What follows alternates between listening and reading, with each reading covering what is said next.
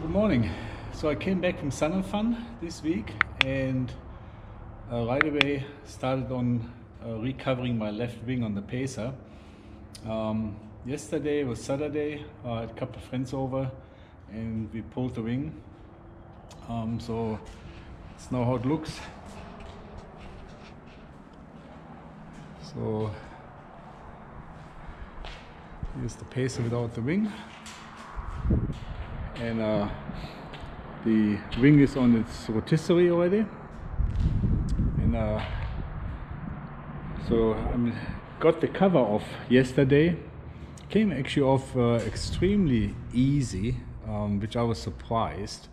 Um, so I was thinking that especially on the leading edge um, where the fabric was glued supposedly glued um, there would have been much more um, of an issue trying to get the the cover off, the uh, old fabric off, but it's uh, came off very easy. And uh, um, so far, the wing inside looks very good. Um, I was uh, afraid I would find some broken ribs and damaged ribs, uh, but there's one uh, big surprise, and that is the my outboard fuel tank. So um, it has surprisingly a lot of corrosion on it. Um, the, the original tanks, the uh, factory tanks here, uh, they're aluminum, but the Stoddard tanks that I have in uh, 11 gallon in each wing, they're steel, and there must have been uh, water getting between the fabric and the actual tank, and was sitting there probably, and then uh, started corroding. So I have a friend who is a master welder. Um, so I, I, need to talk to my mechanic also tomorrow. Um, but I'm thinking about replacing the whole top. Um, so rather than just sanding it and priming it and painting it. Uh, so, but other than that, uh, so today is more cleanup. Um, still have to take the fabric off the butt rib. Uh, I was also afraid that I need a new battery, but uh, it looks very good condition, so everything is fine. Um, like I said, just some cleanup. Uh, other than that, it's pretty straightforward. And uh, of course, I have the uh, droop wingtips on my Pacer here, and um, so I didn't know how they were mounted until I yesterday uh, took the fabric off and the way that it's actually mounted, uh, the of course the spar uh, I think was extended um, right here. And there is a wooden rib here at the very end.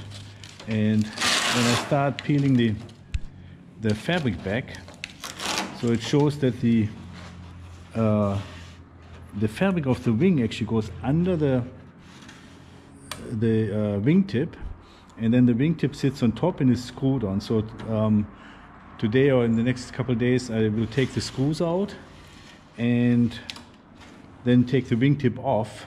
So then I can recover the whole wing. And after it's recovered uh, of course before painting then I put the wingtip back on and finishing tape over it just like it's right now. Um, and then the wingtip gets painted together with the wing. So uh, but other than that, again, it looks pretty straightforward. Just uh, going to do some cleaning up. Uh, there is uh, a lot of, I found this mud, I think called mud dubbers or whatever you call them. Um, I found quite a few uh, of their stuff in the wing, so I'm cleaning all that up. Um, but then I think after the uh, the outboard tank is fixed, and then metal parts uh, probably take off and uh, prime them, paint them, um, can put them back on and I will be hopefully recovering the wing soon. So the bottom of the main tank is uh, really collected some uh, yeah, dirt and whatever, um, maybe fuel and stuff. Uh, so with a little Scotch-Brite pad and uh, some simple green, it seems to come come right off. Um, just a little bit elbow grease and uh, I can clean this all up here. So that's going to be a lot of work. Um, basically just probably a day or so just cleaning up the wing, getting all this stuff off that has accumulated since 1986 when the airplane was uh, covered the last time. So after a couple hours of cleaning, so got the bottom of the fuel tank pretty much cleaned up. Um, I still have to take uh, the screws out here. Um, instead of stitching, um, whoever covered last time, they used uh, PK screws for the fabric. So I still have to take all those out. Um, cleaned everything around here. Um, so then there was a lot of cleaning also on the top of the of the wing. Um, it sounds like there's something in, in I think the outboard fuel tank. Every time I rotate the wing, I, I hear things moving around. Um, so, but anyway, so I got this tank pretty much cleaned up. Um, so that's all nice. Uh, here on the trailing edge behind the tank, um, there was a lot of glue on it, uh, but that all all taken care of. So that's all off. Um, then for the top of the outboard tank, uh, I sanded quite a bit uh, to see how, how deep the pitting is. So tomorrow when my um, mechanic comes, uh, we can together evaluate uh, and see what it will take to repair. Um, but I'm still tending to actually replace the whole top. I think it's the best thing to do at this point. So, because I don't want to lose my ex my extra tanks. Um, I love the extra tanks. Uh, so anyhow, so time for lunch. Then I come back and probably start taking the PK, uh, the screws out at the bottom of the wing.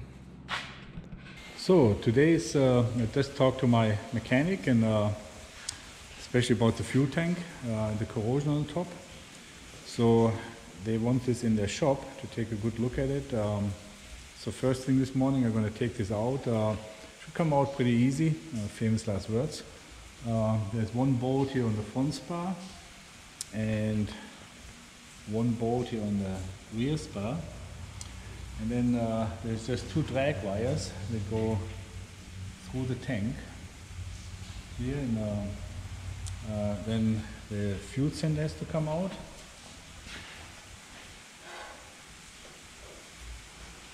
So it's right there. And then there's one fuel fitting in the front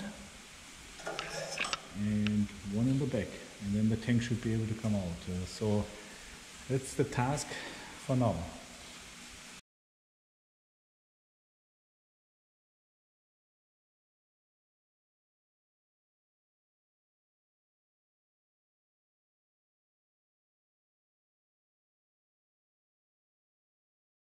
So, that's actually not too bad, maybe hour or so, and the fuel tank is out. So now going to bring it over to the shop and we're going to look at the corrosion. Actually, when I talked to the shop this morning, they said it probably can even be just uh, uh, zinc chromated, um, but we'll see. I, I'm not that, that much of an expert, so they can take a look and maybe can just, uh, maybe I caught it early enough. So this is how my wing looks now with uh, an empty bay here where the fuel tank used to sit. So, but it was a good hour.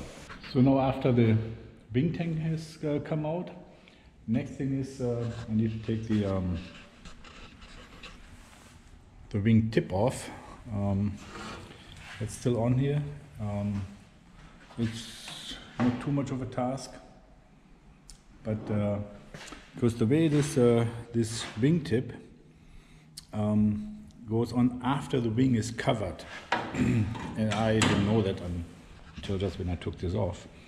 But the fabric here goes, goes under the wingtip and is uh, attached to the last rib here.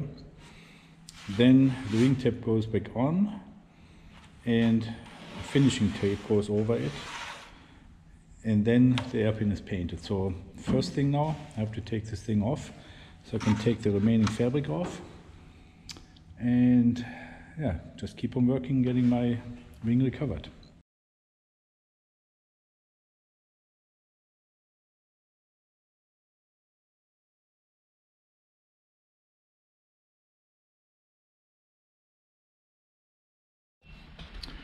So wingtip is off, just a lot of screws, but here it is.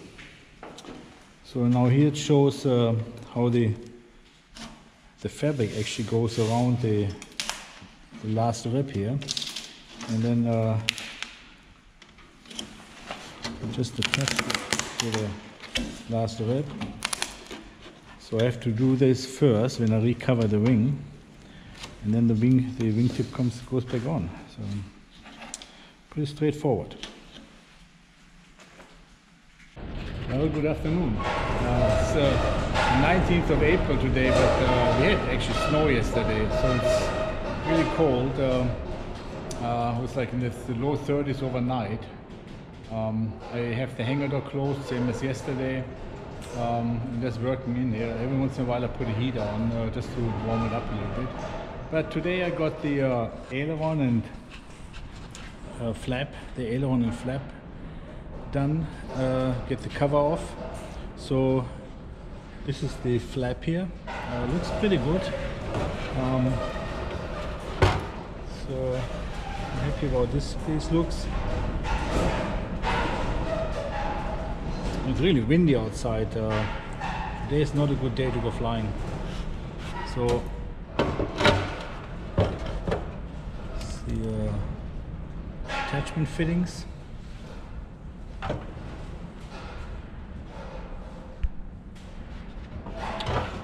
on this side here, you see how well you can see. Then there's my aileron. The aileron, we ever covered this before, used quite a bit of filler for some reason um, in some spots. I'm not sure why they, uh, I mean, why they put so many dings in it. Uh, here, and I notice especially on the underside of the trailing edge, there's some spots where they really used a lot of filler. And then the very outboard side of the trailing edge uh, that needs to be cleaned up and painted. And then uh, there are some reports uh, that actually uh, there's some corrosion on, on the spars because of uh, dissimilar metal. So I will have to take these out here, uh, drill rivets out and then take the, the fittings off because they're metal fittings sitting against an aluminum spar. So I want to see what's going, if there's anything going on there, but if not, then uh, just prime, prime and paint and put everything back together. And uh, so there's not much work on the ailerons. So that's already a good, good thing. So now the next thing is, uh, like this is the outboard aileron attachment fitting. And uh, it looks generally in good shape, but there's, a, there's some light corrosion inside here. Um, not really that much. Uh, and here, this is the uh, the inboard aileron attachment. Again, uh, just a little bit uh, surface rust, and then uh, this is for the outboard flap. Looks okay, and then uh, the inboard flap. Uh, let me rotate the wing here quick. So the inboard flap attachment is actually right here. Um, so I also want to take that out so I can prime it and paint it up. And then uh, I also want to do the um, um, strut attachment fittings on both sides.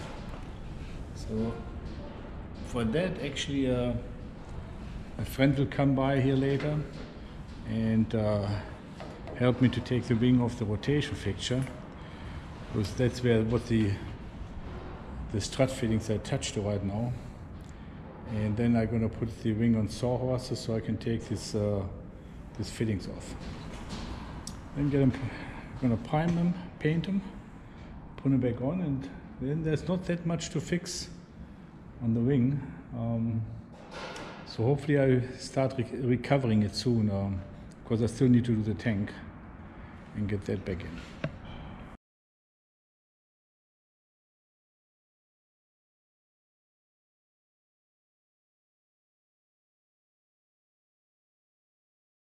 I got four of the aileron flap attachments uh, brackets out.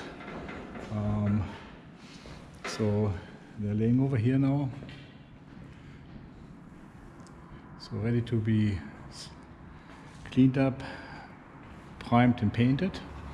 So I drilled out the rivets. Um, this one here I can't get to because the loop of the rotation fixture prevents me from getting my drill in here. So, but since a friend will come here in a 20 minutes or so to help me putting the wing on sawhorses, I just gonna drill them out as soon after he gets here or after we get the uh, wing on the sawhorses. Um, but other than that, got everything out and look forward to getting back in. Good morning. So today is Wednesday. Um, just uh, last Saturday we took the wing off and I'm making good progress here. So yesterday I took uh, the attachment for the flaps and ailerons off, uh, for the flap and aileron, except uh, the inboard uh, aileron bracket um, because I just couldn't get to the rivet when it was uh, the um, in on the wing rotation fixture there's two rivets here. So these are the only things I still have to drill out. And then this is ready to come out here. And then uh, the reason why I put it on sawhorses was because I want to take the uh, wing strut attachments off here because they have just a little bit light corrosion on it. Um, again it's not much but since I have the wing open anyway so I may as well take those out. So here and on the other side. Um, and that's the task for today. Um, and then I pray, uh, take everything home um, uh, all the fittings and uh, by then hopefully the fuel tank is uh, welded up uh, so I can also prime and paint that. And put fittings back on. Um, and after that uh, uh, I can really just do the final touch-ups on the on the wing. I have to square it um, since I took the uh, the brace wires off. So I just want to make sure it's still square all the bases are square. So right now I only I took one set of brace wires out here where the where the tank was but I have to also loosen this set of wires here. So then I basically have all the brace wires off so I do uh, make I have to make sure that the wing is still square after I put them back on. And then I'm getting close to actually to recover this thing already. So so let's see how it goes.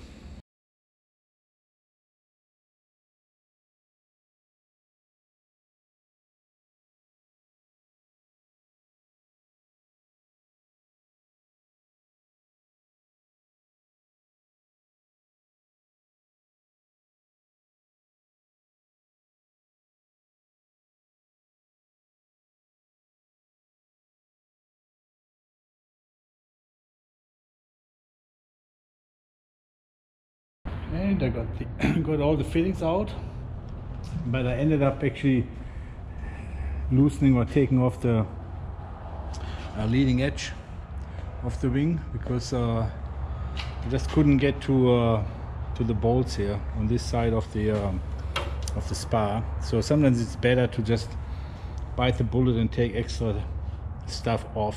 It makes it so much easier to actually work on it. So was after all not that big of a deal.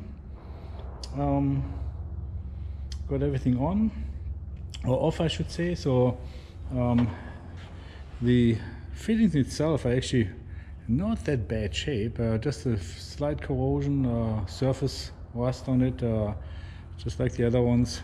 But since I have the wing open I may as well just uh, give them a good clean give them some primer and then uh, ready to install again. So so they're all out. And I also can clean up in the wing uh, or in the leading edge here. Um, found some more oops, uh, they call mud dabbers uh, these critters are just everywhere.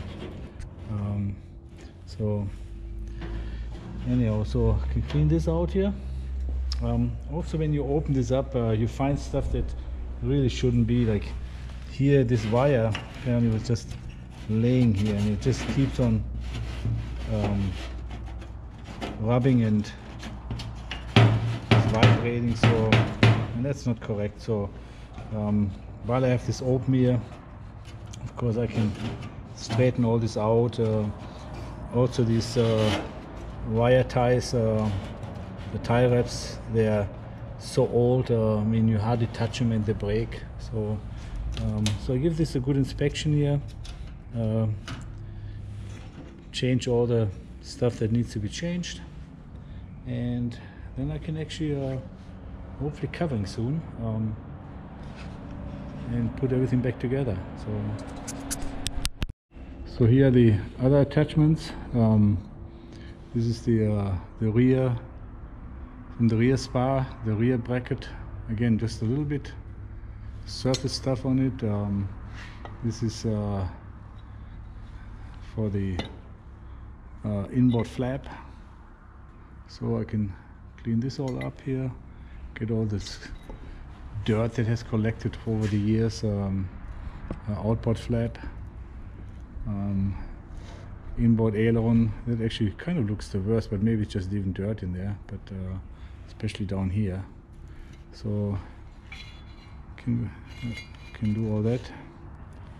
Um, and get it all done to put it back in. So I think that's it for today